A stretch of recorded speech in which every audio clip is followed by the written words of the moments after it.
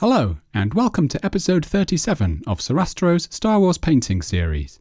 In this episode, we're going to paint Verena Talos from Fantasy Flight Games' Star Wars Imperial Assault.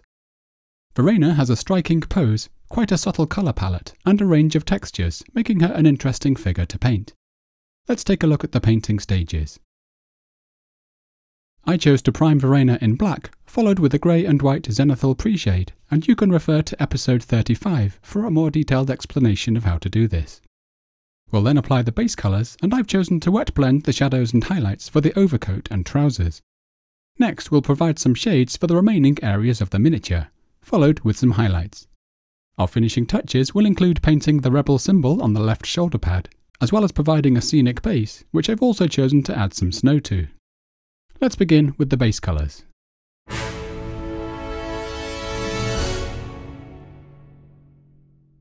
I'm going to begin by painting Verena's overcoat and trousers. We've covered similar fabrics and colours in previous episodes, typically using a base colour, shade and highlight approach, and, in the case of Lando, some very careful layering of glazes. For the sake of variety and to speed things up, I've chosen to wet blend the main tones on Verena's coat but you could easily take the same approach as we did for someone like Loku if you prefer. The main colour I'm using for the fabric will be a roughly equal mix of Steel Legion Drab and Zandri Dust, and I'm thinning all of these colours with a few drops of glaze medium to extend the drying time.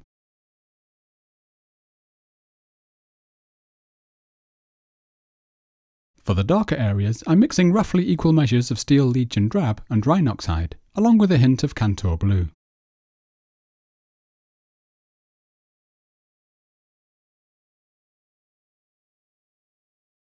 I'm also preparing a little Ushabti bone to use for some final highlights. I'm starting by painting the darker areas, which include the lapels and the shadowed underside of the coat.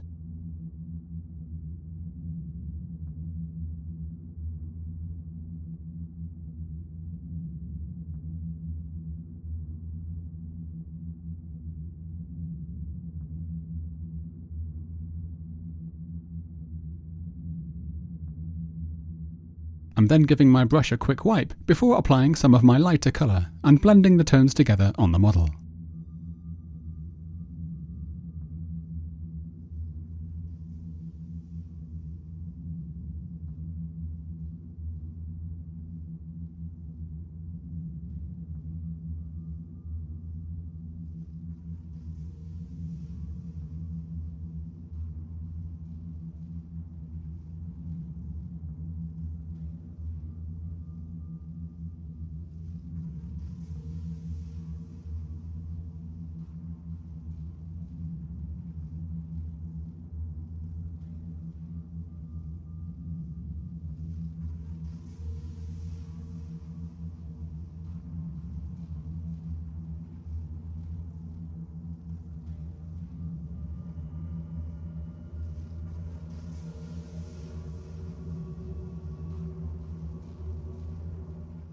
I'm now doing the same on the back of the cloak.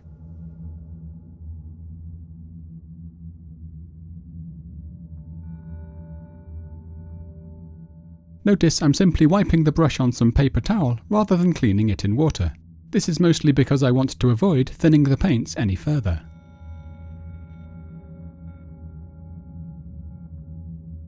When it comes to blending the colours, I will often use a small cross-hatching motion to initially mix the tones sometimes followed with some broader strokes to smooth things out.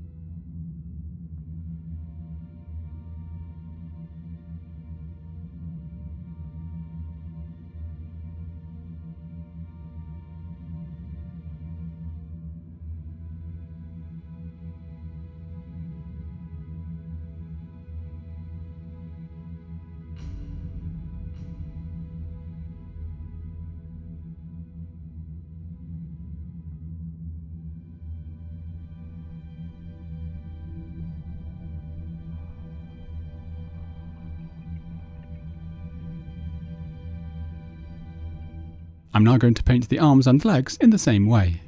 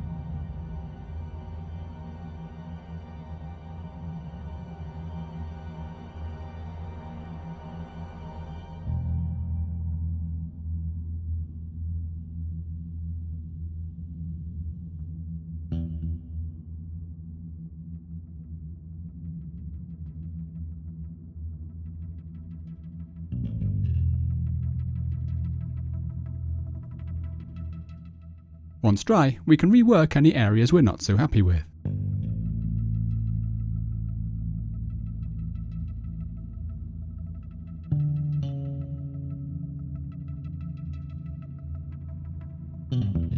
I'm now adding a few small highlights by mixing some Ushabti bone into the Steel Legion drab and Zandri dust mix.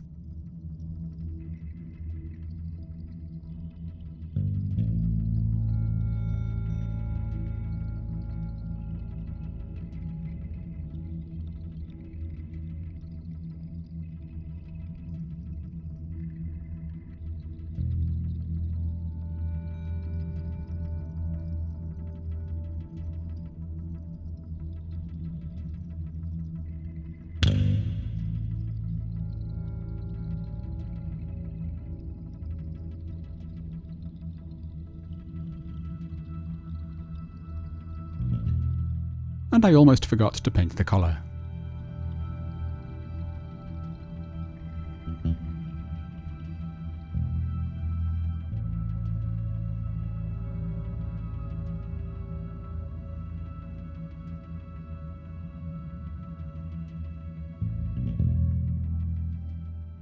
Finally, I'm going to mix my dark and midtones and use this to highlight the raised pads on the lapels.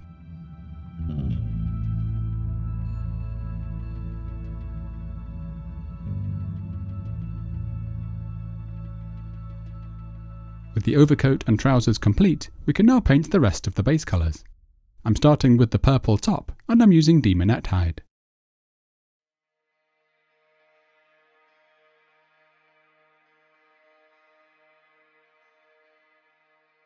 We can also paint the stripe on the trousers with this. Although it's not marked on the sculpt, the box art illustration also shows a stripe on the right leg, so you could add one there too if you wish.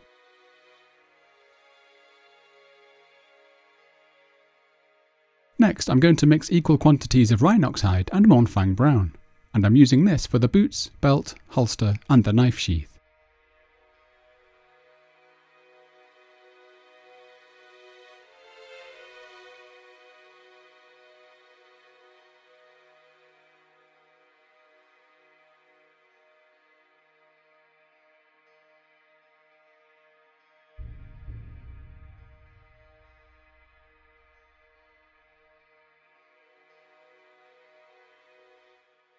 Metallic chest plate and shoulder pads, I'm using Leadbelcher mixed with a little Karak Stone and a hint of Daemonette hide. The purple isn't essential, however.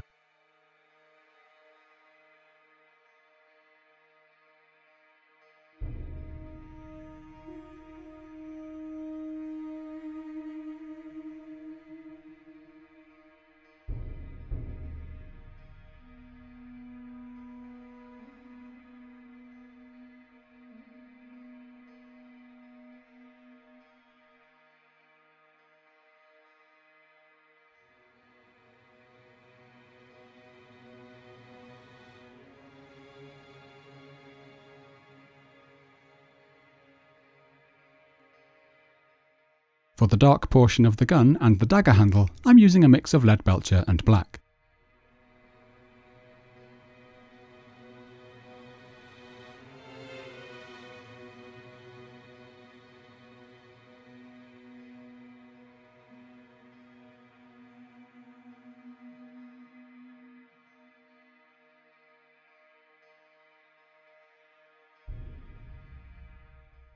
We can also paint the headset with this.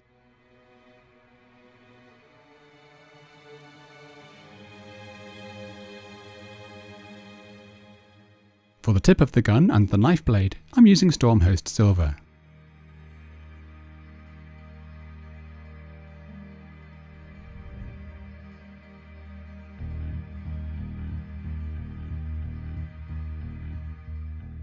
This can also be used for the belt buckle. I'm now going to paint the gloves using a roughly equal mix of Zandri Dust and Screaming Skull.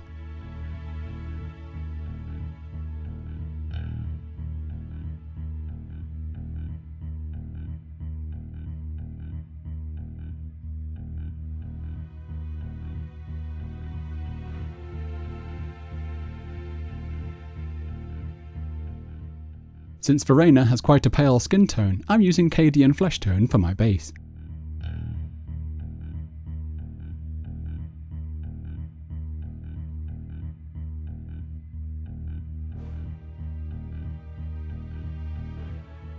For the hair, I'm starting with a base of Balor Brown.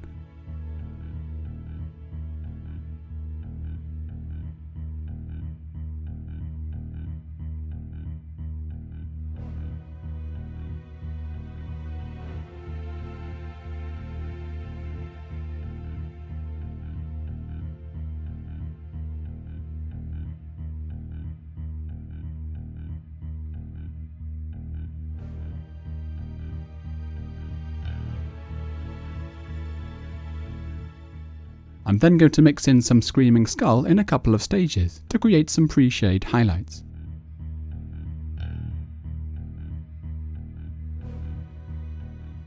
This is something I often like to do with quite textured areas like fur or hair, so that we can leave the shade to articulate the texture and leave us with minimal highlighting to do later on.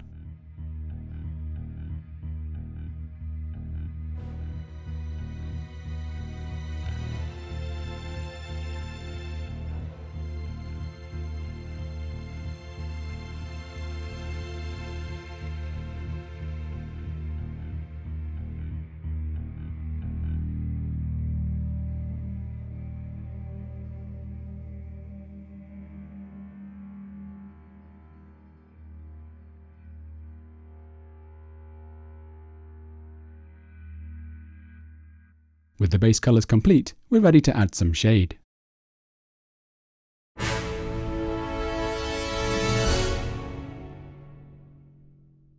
In no particular order, I'm going to begin by shading the face with some Reikland Flesh Shade.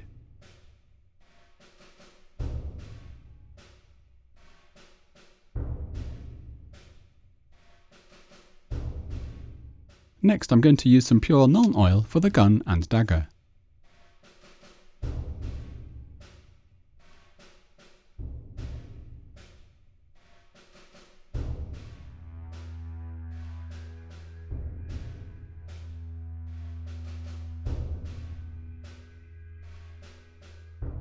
Finally, I'm going to create a 2 to 1 mix of Agrax Earthshade and Nuln Oil, which I'm also toning down with a little medium. I'm using this to shade the rest of the miniature, except for the overcoat and trousers, which already have sufficient contrast. This means shading the boots, armour, accessories, belt and hair.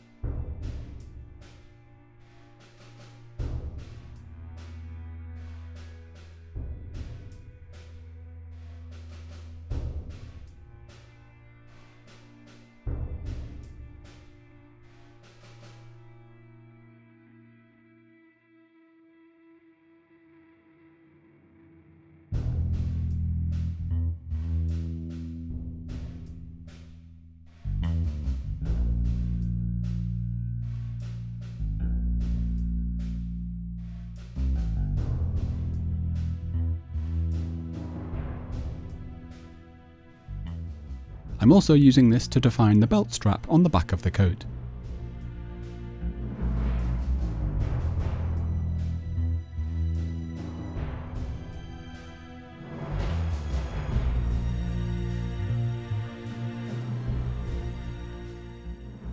I'm providing a second application to further darken the shadow of the lower torso, as well as the boots.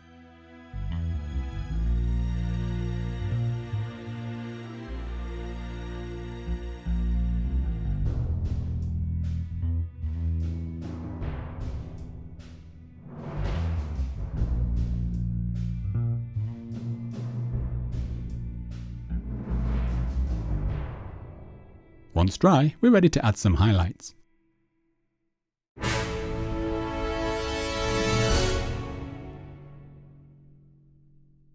I'm going to begin by highlighting the boots and accessories, and I'm starting with the original Rhinox hide and Mournfang brown mix.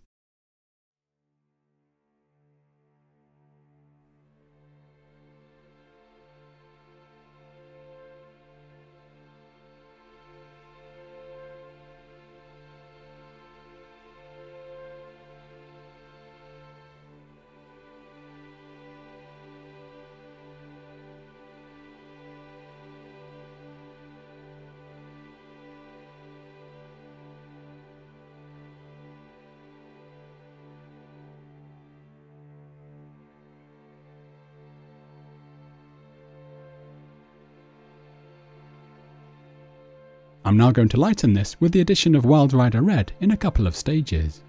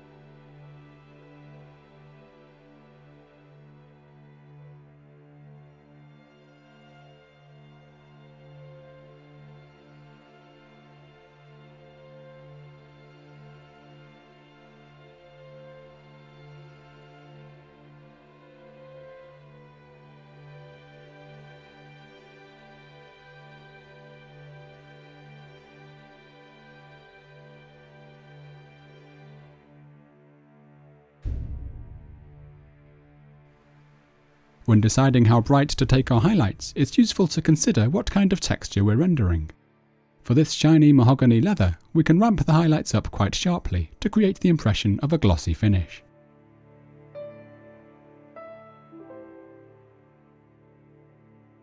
Here I'm adding some pure white to create a few specular glints of light.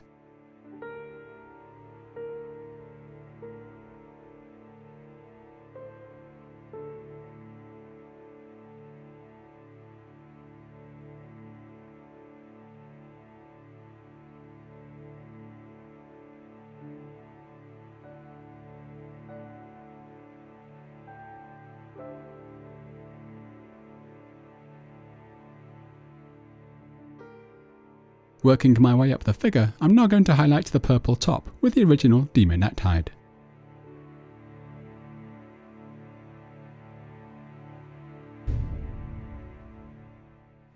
I'm now going to lighten this with the addition of a little white.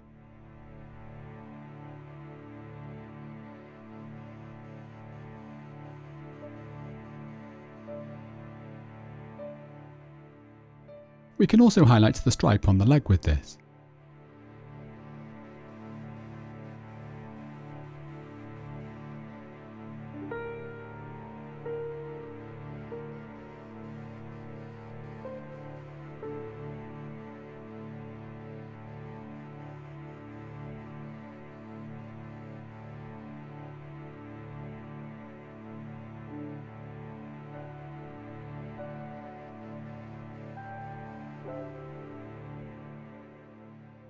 For the metal areas, I'm mixing almost equal quantities of Stormhost Silver and Karak Stone.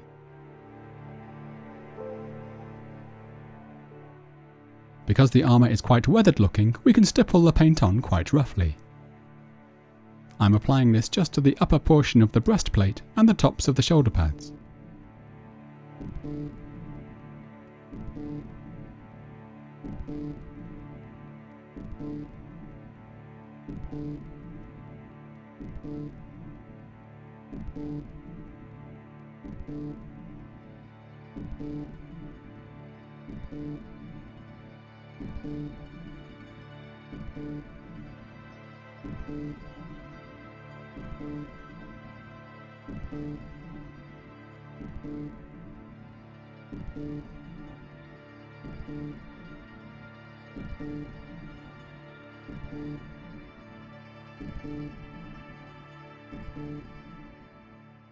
I'm also using this to add a few small highlights to the gun and the knife.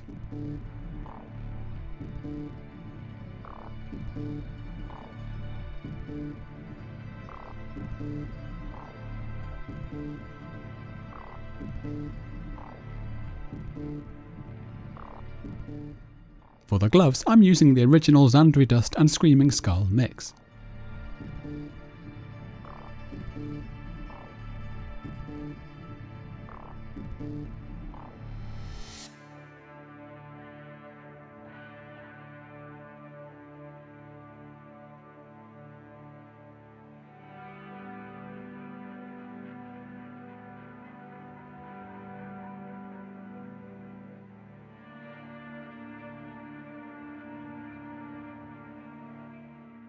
And I'm brightening this slightly by mixing in some additional Screaming Skull.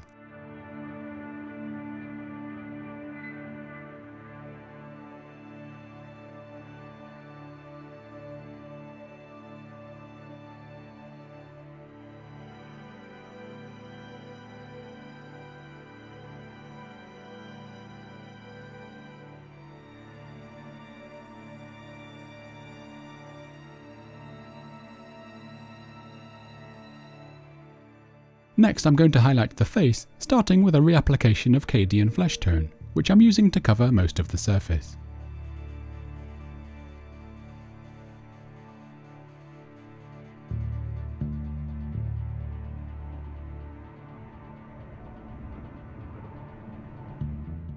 I'm then jumping to pure Kislev flesh, and I'm still covering a good portion of the face, but building the tone up more on the places that catch the most light.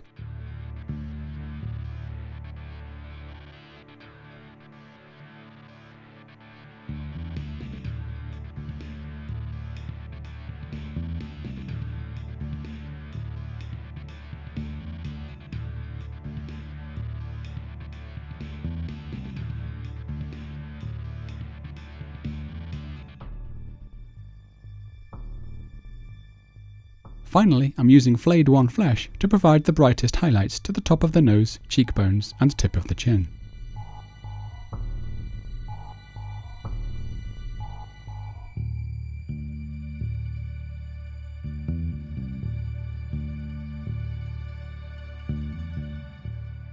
Finally, we can provide a few gentle highlights to the hair using a fairly light mix of Balor Brown and Screaming Skull.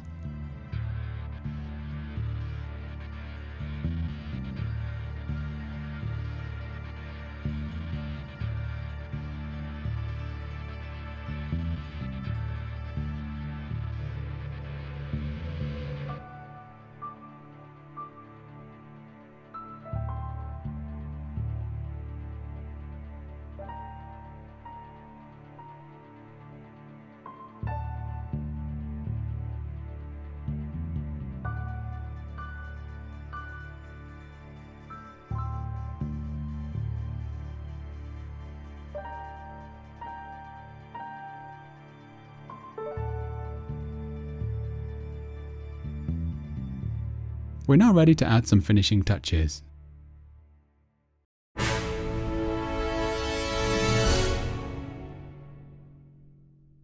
I'm now going to pick out the eyes with Vallejo's ivory.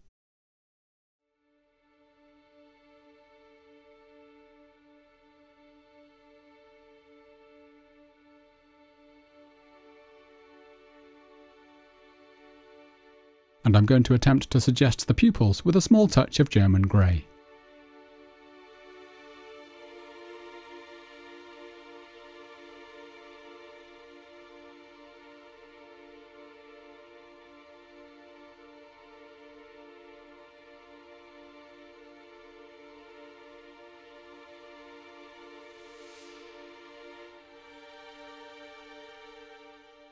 Now tidying this left eye with a touch of skin tone.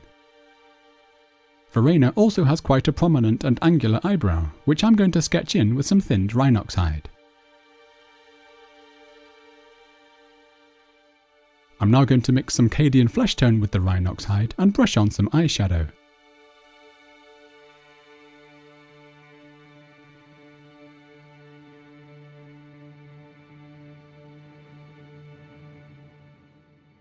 And here I'm just reinforcing the eyebrow.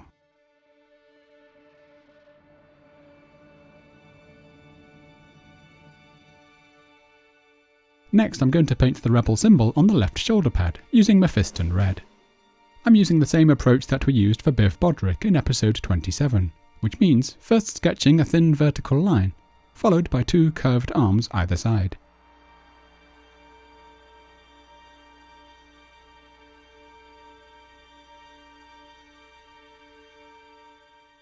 We can then carefully fatten the lines to form the rebel symbol.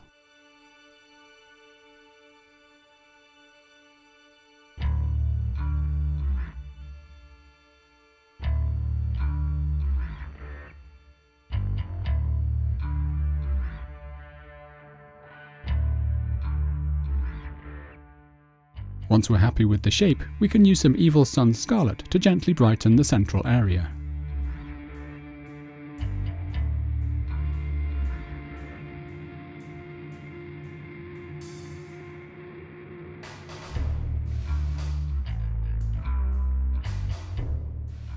And I'm going to finish the shoulder pad off by providing a couple of scratches with the metallic highlight tone.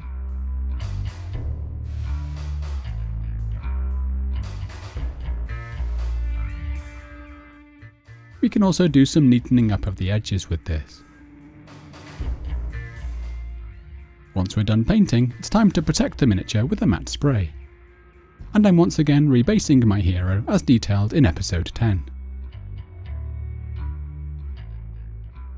I've also chosen to add some half-melted snow effects using Citadel's Valhallan Blizzard. This can be simply applied neat from the pot, and you could use as much or as little as you like.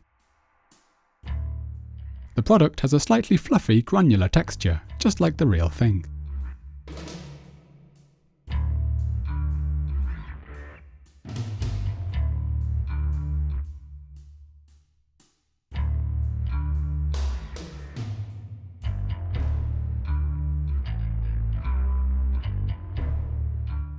Damp brush can be used to create a slightly more slushy, partially melted look.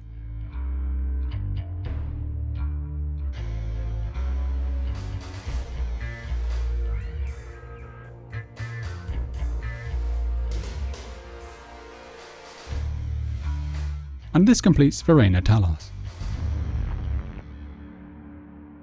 Thank you for watching. I do hope you have enjoyed the episode. Don't forget, you can find details of all the equipment used in the video description below, along with links to my social media accounts where you can keep up to date with what I'm working on next. As always, my very special thanks go to the wonderful patrons who are financing this work. Although I say it every episode, I can't really say it enough. Thanks to their support, we recently broke another funding milestone, which means I've once again been able to upgrade my video camera, so all of my viewers will be able to enjoy even better quality videos from the next episode. So once again, thank you for enabling me to continue making and improving these videos.